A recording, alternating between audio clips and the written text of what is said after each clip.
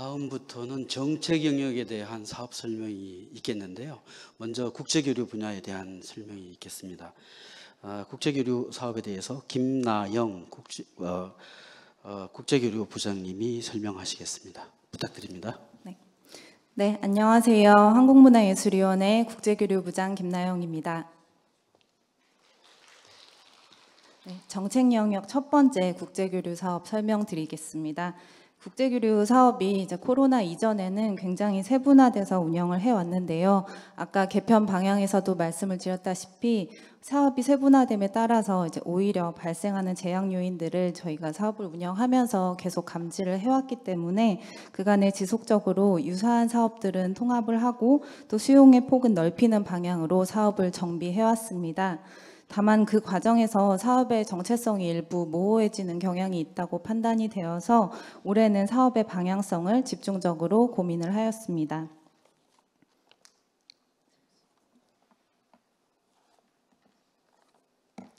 네, 국제 파트는 지금까지 운영된 다양한 지원 프로젝트의 사례를 면밀히 살펴보고 현장의 의견 청취를 통해서 국제 교류의 형성과 활성화의 키는 네트워크에 있다고 판단을 하였고 사업을 두 가지로 재구조화하였습니다. 첫 번째 국제 예술 네트워크 지원 사업은요. 기존의 예술가 해외 레지던스 지원과 한국예술 국제교류 사업을 하나로 통합을 했고요. 예술인과 단체의 주도적인 네트워크의 구축과 활용을 지원하는 사업으로 재편하였습니다. 두 번째 국제예술 공동기금 사업은 양국 간의 양국 예술위원회 간의 형성한 네트워크를 전략적으로 활용하실 수 있는 사업으로 운영을 합니다. 그리고 장르적인 경계에 구애받지 않고 국제교류 자체의 의의와 프로젝트의 충실성을 중심으로 심사를 진행하기 위해서 유형별로 심의를 운영을 하고요.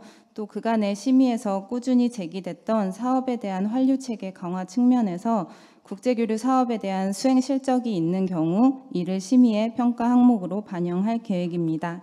사업별로 설명을 드리겠습니다. 국제예술 네트워크 지원 사업입니다. 어, 보시는 대로 두 가지 유형으로 나누어집니다. 이 사업은 단순 진출이나 교류가 아니라 보다 유효한 네트워크를 구축하고 또 중장기적으로 활성화할 수 있는 프로젝트를 지원하는 방향으로 운영하고자 합니다. 구축의 경우에는 이제 향후 협업을 전제로 국제예술 네트워크를 새롭게 구축하고자 하는 예술가와 단체가 신청이 가능하고요. 다만 이제 다양한 진입 기회 제공을 위해서 최근 5년 내에 2회 이상 예술가 해외 레지던스에 참가하셨던 수혜자 보조 사업자께서는 지원 신청이 불가능합니다. 최대 지원금은 2천만 원입니다. 활용 유형은 기존의 국제예술 네트워크를 가지고 계신 경우 이를 활용하는 사업을 지원을 합니다. 코로나 이후로 항공비와 물류비가 굉장히 많이 상승한 점을 감안을 하고 또 기관 간의 중복 지원을 제한하고 있는 점을 고려해서 최대 8천만 원까지 지원하고자 합니다. 이 두 가지 유형에는 예술위원회가 기관 차원에서 구축했던 파트너십을 통해서 운영되는 지정형 사업이 포함이 되어 있는데요. 사업 설명 책자 95페이지부터 보시면 상세하게 설명이 나와 있습니다. 이번에 함께 접수를 받는 사업들도 있지만 또 협력 기관들마다 공모 일정이 상이한 곳들이 있어서 관심 있는 곳들은 미리 체크해 주시고 궁금하신 점은 언제든 사무처로 문의 주시면 친절하게 답변 드리도록 하겠습니다. 당초에는 저희가 지정형 사업을 이제 몇 군데 더 추가해서 공모를 진행을 할 계획이었는데요. 지금 논의 중인 기관들과 그 기관들이 일정이 좀 픽스되지 않은 곳들이 있어서 정시 공모에는 이제 다 안내드리지 못하고 연도 중반에 일부 추가 공모를 진행할 수 있다는 점 참고해 주시기 바랍니다. 네, 심의는 모두 서류 심의로 진행이 됩니다. 심의 기준은 기본적으로 어, 신청자와 단체의 역량과 이해도 그리고 사업 계획의 충실성, 국제적 기대 효과로 구성이 되고요.